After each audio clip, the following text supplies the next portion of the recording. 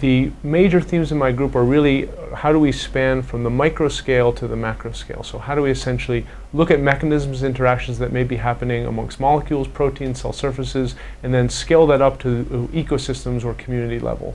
So for a very long time, people thought of hosts and viruses, especially the viruses of microbes, as being very important from a, let's say, fundamental molecular genetics perspective. How do simple organisms function? But we realize they actually play a very important role ecologically. So if you go to, let's say, seawater or soil and you take a liter of seawater, you might find a billion or 10 billion viruses in that, sea, uh, in that liter of seawater. And they are killing, modifying the behavior, uh, modifying community properties of essentially the microbial loop and therefore really the world. And so what we're trying to do in my group is to apply theories to understand, first of all, who's interacting with whom, who's infecting whom. It's not just one virus per every host. As you know, humans, we can get infected, unfortunately, by many viruses. And so the same thing holds true for microbes.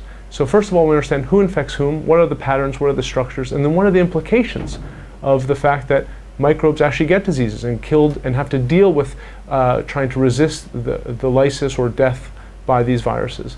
And so one of the big issues that we're thinking about now is then transforming or thinking about these patterns of interactions and seeing, well, what does that mean for the flow of carbon, uh, nitrogen, phosphorus, iron, etc., other nutrients in the environment. Because every time a bacteria dies due to a virus, that means that that bacteria is not eaten by a larger organism, which eventually goes up the food chain. So essentially keeps uh, certain nutrients in what is called the microbial loop. So we're doing a number of theories, uh, excuse me, theories that sort of investigate the interaction between patterns of interaction and function.